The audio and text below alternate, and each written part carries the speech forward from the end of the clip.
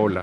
Ahora estás viendo Palabra del Día, una serie de videos en la que te enseñamos a pronunciar algunas palabras en quechua.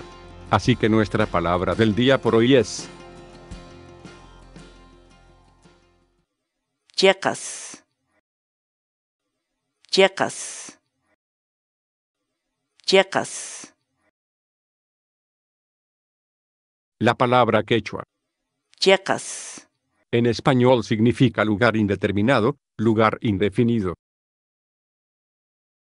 Por ejemplo, purimunku.